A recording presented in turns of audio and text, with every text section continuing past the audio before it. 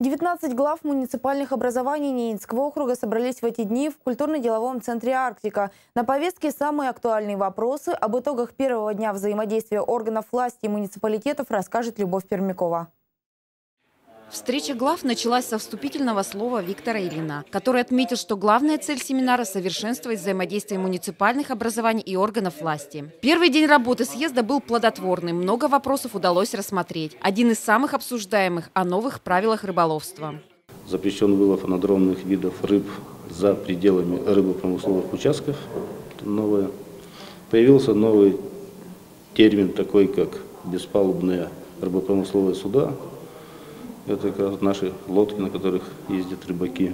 Для промышленного рыболовства ввели запрет с 15 июля по 15 октября вылов вне рыбопромысловых участков.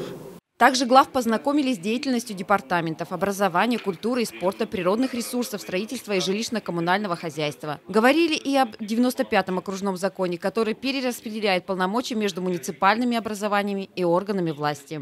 Административная реформа в какой-либо части изменения 131 федерального закона, оно проходит постоянно. Это достаточно живой закон, э, который ну, приближен к жизни. У них осталось достаточное количество полномочий, 21 полномочий, 14 вопросов местного значения. Это очень много, если их э, исполнять грамотно и правильно. Поэтому э, такой паники, скажем так, у глав, что ой, все совсем плохо, совсем плохо, такого нет. Это абсолютно рабочие моменты.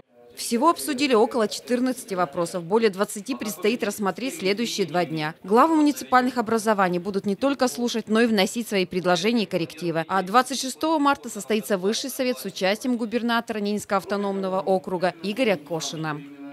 Любовь Пермякова, Вадим Носкин, телеканал «Север».